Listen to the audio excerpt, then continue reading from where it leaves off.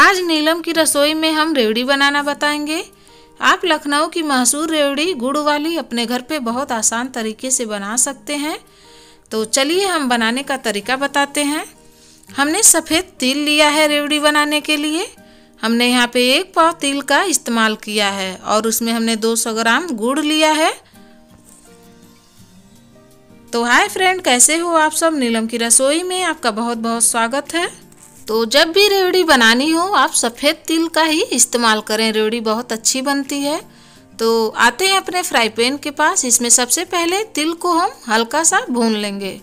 अगर आपको कच्चे तिल की रेवड़ी पसंद है तो आप डायरेक्ट गुड़ की चाशनी अच्छे से बना के उसमें डाल सकते हैं। तो इसको यहाँ पे हम हल्के से भून लेंगे।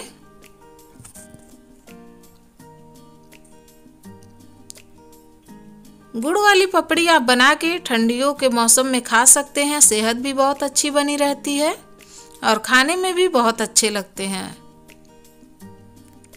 तो देखिए हल्का हल्का चलाते हुए हमने इसको भून लिया है। अगर आपको कच्चे तिल की रेवड़ी पसंद है तो आप कच्चे तिल का डायरेक्ट बना सकते हैं। तो यहाँ पे तिल भून चुका है। अब हम गुड़ को पका लेंगे। तो रेवड़ी के लिए गुड़ को कैसे पकाना है वो हम आपको बताएँगे। तो सबसे पहले हमने गुड़ को डाल दिया है और हल्का सा इसमें पानी डाल देंगे और इसको मेल्ट होने देंगे।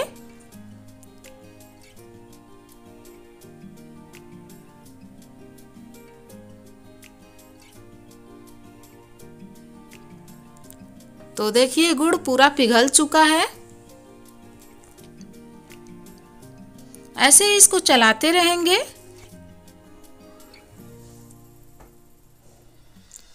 अब देखिए, अच्छे से बबल्स आने इसमें से चालू हो गए हैं। तो एक कटोरी में हमने पानी लिया है, इसमें थोड़ा सा डालेंगे। तो देखिए, ये अभी गुड़ की चाशनी कड़ी नहीं तैयार हुई है, अभी गोल गोल घुमाने पे घूम रहा है और फैलाने पे ये फैल रहा है। तो दो मिनट हमने और इसको पका लिया है। और पानी में डाला है चेक करने के लिए। तो ये देखिए, तोड़ने पे टूट रहा है। हम आपको तोड़ के दिखाते हैं इसको। देखिए कैसे टूट गया। यानी कि परफेक्ट ये गुड़ पक चुका है।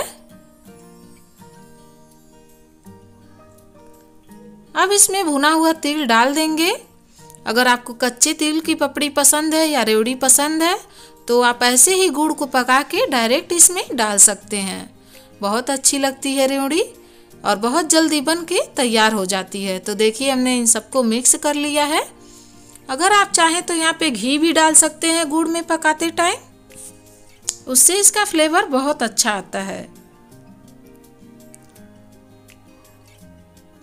इसको हमने अच्छी तरह मिला लिया है। आप जब भी तिल की रोड़ी बनाएँ, दो लोग या तीन लोगों को ले के साथ में बनाएँ। क्योंकि इसको जल्दी जल्दी बनाना होता है तो हमने गैस को बंद कर दिया है और इसको नीचे रख लिया है।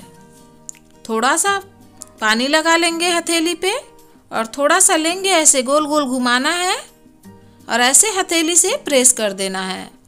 अगर आपको ज़्यादा पतला पतला बनाना है तो ऐसे ही हाथ से थोड़ा सा फैला लें इसको। ये पतला खाने में बहुत अच्छा लगता है। अगर आप चाहें तो मोटी भी रेवड़ी बना सकते हैं। जैसी आपको पसंद है। अगर मोटी बनानी हो तो बस ऐसे ही हथेली पे प्रेस करके रख दीजिए। मैं यहाँ पे पतला इसलिए बना रही हूँ, बच्चों को खाने में आसानी होती है और बच्चे बड़े पसंद से खाते हैं इसको।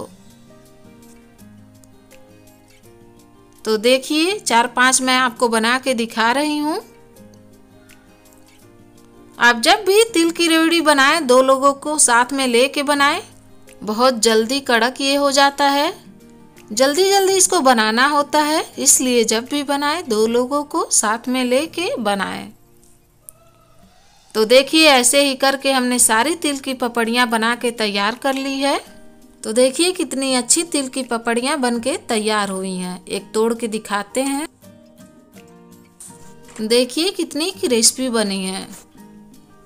तो आप इसको बना के एक महीने तक स्टोर करके भी रख सकते हैं।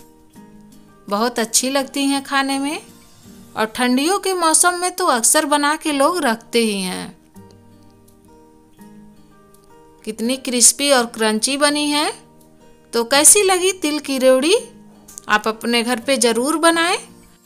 अगर आपको चीनी वाली भी रेवड़ी की रेसिपी चाहिए तो आप हमें कमेंट करके बताएँ। तो गुड़ वाली रेवड़ी की वीडियो आपको अच्छी लगी तो हमारे वीडियो को लाइक करें और चैनल को सब्सक्राइब करें और बेल आइकन को दबाना ना भूलें ताकि हम एक भी वीडियो अपलोड करें तो सबसे पहले आपके पास पहुँचे।